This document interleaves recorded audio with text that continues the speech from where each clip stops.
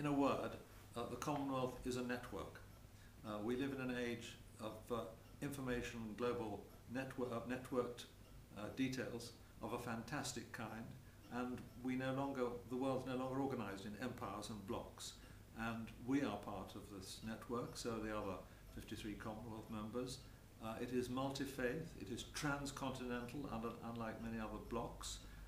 It is, embraces rich and poor in an equal relationship, and of course there is a fantastic uh, cement of common culture and common understanding and values. All of these things make the Commonwealth the ideal model for the 21st century.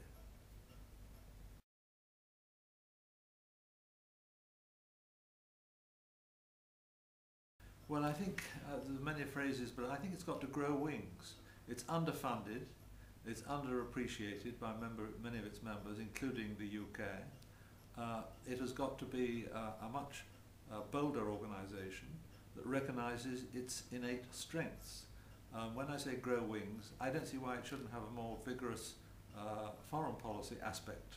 The EU, after all, has a foreign minister and an active foreign policy. The Commonwealth could have similar kind of involvement.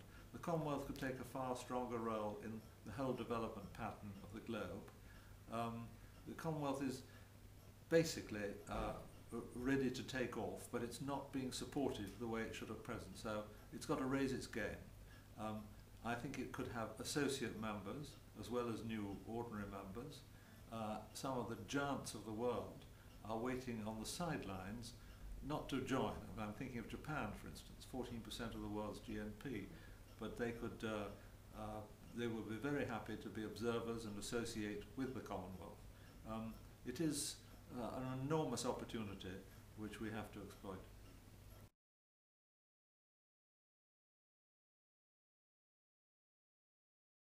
Uh, a much more central role. The, the, the British um, foreign policy system has been paralysed for the last 30 or 40 years by the belief that somehow we're being squeezed out of Europe, that the wonderful continentals are doing things and we've got to get in on their game. Please could we join your game? This is a complete misunderstanding of the way the world is working. Power has shifted to Asia and to the booming Asian economies and may soon shift to Africa as well. Um, that's where our Commonwealth network links take us uh, and therefore while we remain very active members of the European Union, we should strengthen our foreign policy links with the Commonwealth because together we can do great things, not only economically, but in terms of peace and stability, peacekeeping and international uh, global stability.